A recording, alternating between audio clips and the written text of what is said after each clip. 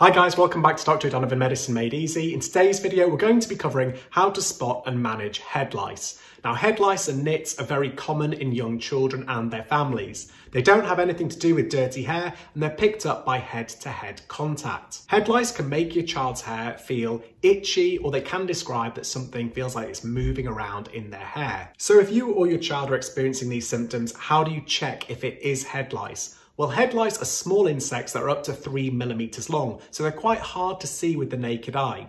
Because they're so small, they can be difficult to spot. Head lice eggs, which are known as nits, are brown or white empty shells that are attached to the hair. The only way to be sure that someone has head lice is by finding live lice. And you can do this by combing wet hair with a special fine-toothed comb, which is known as a detection comb. You can buy these online or they are available at most major pharmacies. Usually you should just wash the hair with ordinary shampoo and then apply lots of conditioner and any conditioner will do. You should then comb the whole head of hair from the roots to the ends of the hair. Usually takes about 10 minutes to comb short hair and about 20 to 30 minutes for longer frizzy or curly hair. You should do the wet combing on days 1, 5, 9 and 13 to catch any newly hatched head lice and then you should check this again on day 17 to make sure that everyone's hair is free of head lice. If this method doesn't work, then there are medicated lotions and sprays, and you can ask a pharmacist for advice on these.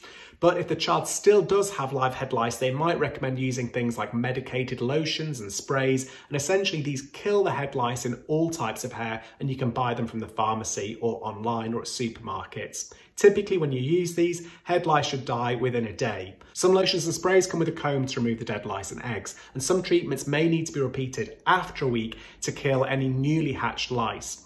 You should check the pack to see if it's okay for your child and how to use them. There will be specific instructions on the pack, and if lotions or sprays don't work, then speak to a pharmacist about other treatments. It's important to know that you can treat head lice without seeing a GP or a doctor. It's important to treat head lice as soon as you spot them. There's no need to keep the child off school if they've got head lice. I hope you found the video helpful, useful and informative. If you did enjoy it, please remember to like it and hit the subscribe button for new medical education videos which I release every Wednesday and every Sunday. If you've got any questions, comments or queries, please just leave them in the comments box below and I'll be sure to get back to you and try help if I can. Thanks for watching. Until next time, bye.